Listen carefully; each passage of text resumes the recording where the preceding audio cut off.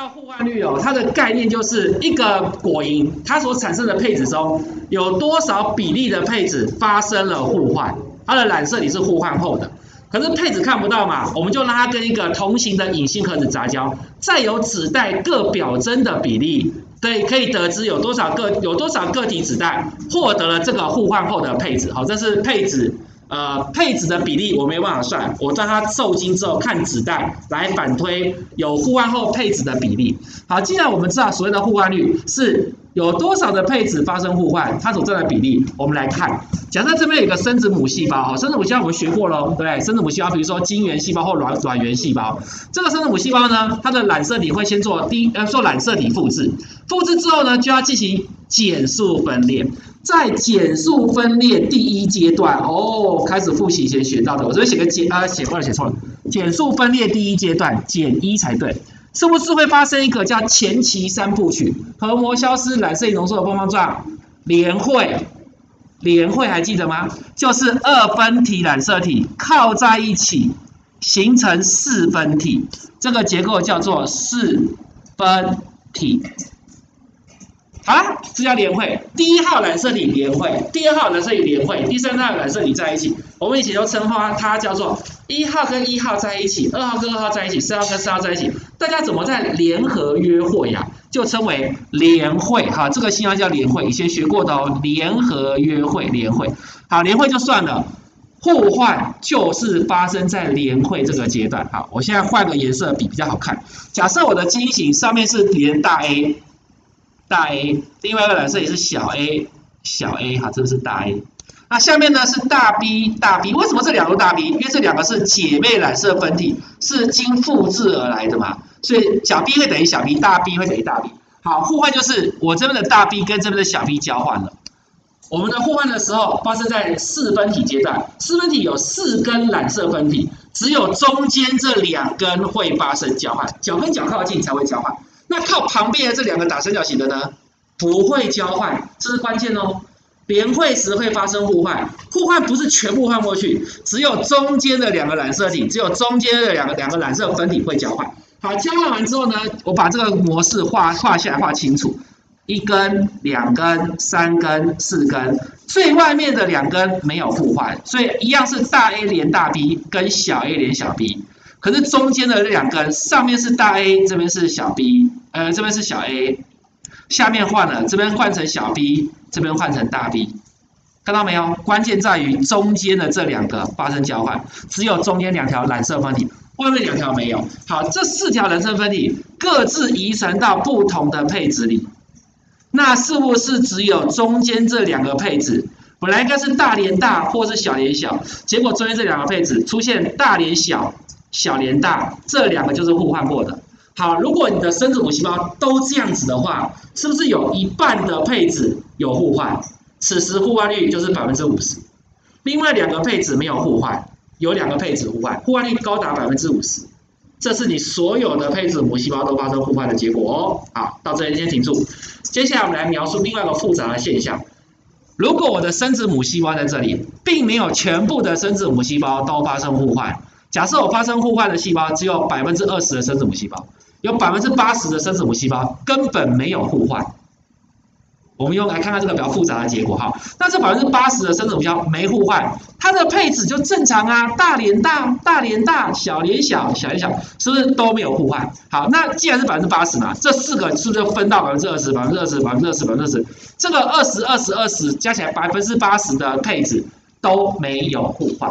好，停住。接下来我们来看这百分之二十的细胞，这百分之二十的细胞呢，发生了互换之后，是不是就中间的那两个染色粉体发生互换了？它分配到各种不同的配置当中，左边到左边，中间到中间，右边到右边，是不是只有这两个发生互换？旁边这两个打三角形的没有。所以我刚刚说我分配了百分之二十的细胞发生互换，它的子细胞。把这个百分之二十分掉了，所以只在百分之五，只在百分之五，只在百分之五，只在百分之五，把百分之二十分的四等份，其中中间这两个发生互换了，所以是不是五加五互换率百分之十？好了，各位，这就是为什么互换率不高，因为并不是所有的配子母细胞都发生互换，发生互换的配子母细胞很少。那这么少的配子母细胞当中，产生的配子只有中间这两个有发生互换。好，各位在这边有没有看到一个有趣的比例？就是当你有百分之二十的分生子母细胞发生互换，你的互换率只有它的一半，就是百分之十。我把这比例画出来哦。如果你有 X 百分比的母细胞发生互换，母细胞发生互换，你的互换率就只有二分之 X 百分比。生子母细胞发生互换的比例会是互换率的两倍，比例是二比一。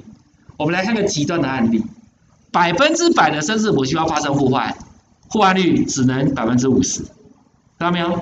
二比一的关系，一个极端，全部的母细胞发生互换，互换率百分之五十，意思就是说。互换率最高就是百分之五十了，不可能再高了，对吧？全部的生殖母细胞都发生互换，你的互换率应该是最高啦，百分之五十。好，这解释了生殖母细胞发生互换的比例为什么是互换率的两倍，是这么来的。好，不是你这个母细胞发生互换，你的配子全部都有互换啊，只有一半的配子有互换，因为另外两个配子没有互换到。好，这是互换的原因，跟为什么互换率跟产生产生配子母细胞发生互换的比例不会是等同的哈，是二比一的关系。好，那这稍微有点复杂一些些，那所以我们刚刚解释了为什么互换率最高只有百分之五十。好啦，那我们刚刚说所谓的互换率就是我们以配子中有发生基因互换的配子比例当做互换率，只是这个配子比例你看不到啊，我们就来做试交。试交的结果就可以反推以配子中有发生互换或没发生互换的配子的比例，所以我们是用操作型的操作方式来定义，来回来得到这个结论。哦，所以这是摩根聪明的点，我用计算的方式可以反推配子的比例。哦。好吧，以上都是互换率的东西。好，那我们现在来用这个图来做一下互换率。因为刚刚有同学说，哎，那这两个基因的位置是不是会有关系？一个在染色体的最末上面，一个染色体下面。如果两个基因都在染色体的上面，会影响吗？各位不会影响的。我用这个图来解释哦。这个图的重点是我这边画圈圈的这一个，这是这个图的核心。这个和这个图的核心是说，当我形成四分体联会的时候。黑色染色体是大 A 大 B 大 C 连锁，黑色都是。而为什么这两个黑色一样啊？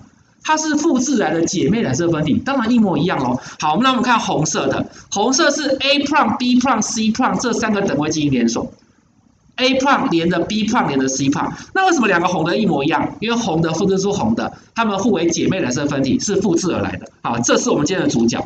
好的，如果今天发生什么事呢？我中中我像圈圈这个地方。这个地方断裂了，发生交换，这个地方发生交换了，不就是上面这个吗？这边发生交换，所以只有 C 换过来，那就是情况 A，这个呃不要 A 啊，这边已经太多字母了，就是一号情况，这个一，如果是这边发生互换，就会是发生一号情况，所以所谓的互换就是这些基因之间的片段断掉了，而互相转换，重新连回去。以这个来讲，就是我画错地方了，应该是这边发生交换，这是情况一。最左边的没有改变，最右边的没有改变，但中间这两个这边发生互换。好，那这样的基因，这样的互换我们怎么描述？互换发生在 B 与 C 基因之间，B 与 C 基因之间发生互换。B 与 C 基因之间发生互换，那这时候会出现这样的情情形。好，那如果没有互换呢，就完全正常啊。大大大呃大 A 大 B 大 C 连锁，大 A 大 B 大 C 连锁，A 胖 B 胖 C 胖连锁，A 胖 B 胖 C 胖连锁，这个是没互换的情况。好，我们再换第二种，有没有可能发生第二种情况呢？我的互换发生在 A 与 B 基因之间，这就是情况二喽。这边是情况一哦。好，情况二的情况就是。最左边没有改变，最右边没有改变，但是 A 与 B 之间发生交换，所以这时候我们会说，哎呀，这个互换的结果是 A 与 B 之间发生交换。一旦交换下去之后，大 A 下面就连着 B plus C plus，左右边这是 A plus 就直接连着 B 与 C，互换是整条换过去，所以互换不在于我跟你我跟你两个基因点对点的交换，不是这样点对点的交换。是从哪个以下整个换过去，整条染色体的下半部换过去，所以情况我这边是不是写错了？写清楚一点，呃，情况一如果是这边发生交换，这是情况一；情况二是这边发生交换，这是情况二。所以我们是使这个点断掉了，后面整条换过去。所以当你的 B 如果互换了，像这个来讲，B 如果互换了，后面的 C 哎不是不好意思，B 如果互换了，后面的 C 会跟着跟着互换。因为我是 A 跟 B 分发生交换。那如果上面是 B 跟 C 之间交换，就是 A 跟 B 在一起，A 放 B 放在一起，就看你互换的点发生在哪里。OK，到这边了解吗？好，那现在呢，我要问各位一个问题了。你看我 A 跟 B 之间是很近，B 跟 C 之间是很远。我把 A 跟 B 之间发生互换的叫做事件一，B 跟 C 之间发生互换的叫做事件二。你觉得事件一跟事件二谁发生的几率比较高？事件一跟事件二谁发生的几率会比较高？事件二为什么？因为比较长吗？任何一个地方发生断裂，任何一个地方发生断裂都算是事件二。然后上面 A 跟 B 之间任何一个地方发生断裂都算是事件一。所以事件二容易发生。各位，因此 B B 与 C 之间发生互，哎，不是不是不是哪里？对，B 与 C 之间。我弄错，我弄错了。哦，对了，在上面了。B 与 C 之间发生互换，机会会比较常发生；A 与 B 之间发生交换，会比较少发生。有发现，我的基因的距离会决定你后面的互换几率。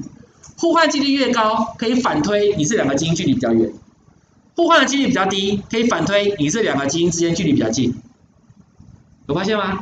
所以呢，就有一个科学家非常聪明的，他叫做哎，这有没有提到？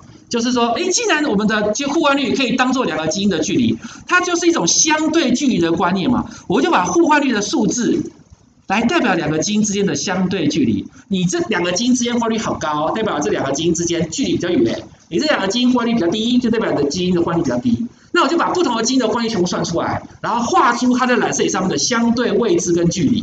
我就不不，我不就我就可以把一个染色体上的基因全部画在上面了吗？这个现象就叫做染色体区域图。当年摩根跟他的学生就是利用互换率的方式，画出人类第一个一条染色体上面不同基因的分布，它的基因怎么分配，然后怎么分布，谁跟谁距离多远，用互换率当做单位，哈，它这样子。好，那那个单位呢是史托文提出来的这个概念。史托文是谁呢？就是摩根的学生。当时史托文说：“哎呀，老师，这个。”互换率的高低可以代表距离，我们就把它当做是一种相对距离的指标喽。这个单位呢，我们就叫它 centimorgan。比如说 A 与 B 基因之间互换率有百分之十，我就说 A 与 B 之间它距离是十 cm，其中 n 要大写。你看这个 cm 是很像公分，好像距离的单位，但是这边不是 cm 的小写哦，这个 n 是 morgan，然后身体是百分比，所以。百分之十，我写成十 centimorgan，就是十帕意思。那如果百分之一呢，就是一 centimorgan。所以以后如果你在题目看到 centimorgan，那就是互换率的单位，它就是距离的单位。那为什么要用这个单位呢？因为史托人说，老师，这是你发现你想到的概念，当然用你的姓来当做那个单位的名字啦。所以用他老师的姓摩根摩根来当做单位。各位明白了哈？嗯。以后要是你在课业上有什么重要的成就，centi Captain 我可以接受，CC 大写 C 哦，或者什么什么 Captain 我可以接受的哦。好，以上就是这个观念，就是呃，我可以把距基因之间的距离用互换率来表示。好，那怕各位不了解为什么基因的距离会影响它的互换率，我就会做一个简单的比喻哦。这个中间发生，这个之间发生交换，就有点像是轨道脱轨了，轨道断了。然后这个断了交，我就重新连，重新连轨道之后连错就发生交换。好，那我们就当做是呃轨道断裂而发生出轨，那轨道重新连，只要轨道断裂就会发生互换。那我问一个简单的问题：台北火车站到板桥火车站这段距离，每一年发生出轨的几率，跟台北车站到高雄车站之间每一年发生出轨的几率，谁比较高？一样的概念，是不是台北到高雄比较高？为什么？因为台北到板桥发生出轨，也算在台北到高雄上啊，对不对？而且台北到高台北到高雄这么的远，任一点发生出轨，都算是台北到高雄之间发生的事件。台北到板桥比较近，所以当时史托文跟摩根就说：“哎呀，原来距离会改，因为会影响你发生断裂的几率，距离越长，发生断裂几率当然高喽。”好，就用这个当做单位了。好，以上我们就说明一下互换率为什么最后只有百分之五十，以及它可以当做两个基因之间距离的关系的的这个单位，我们称它为叫呃相对距离的单位，用互换率当单位，英文叫 centimorgan。